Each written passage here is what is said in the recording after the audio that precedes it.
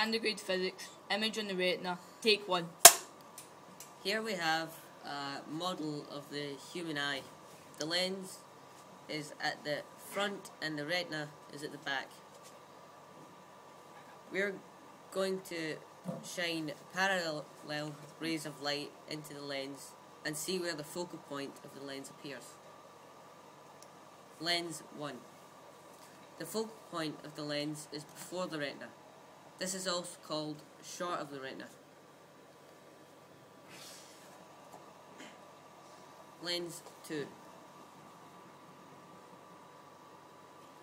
The focal point is on the retina.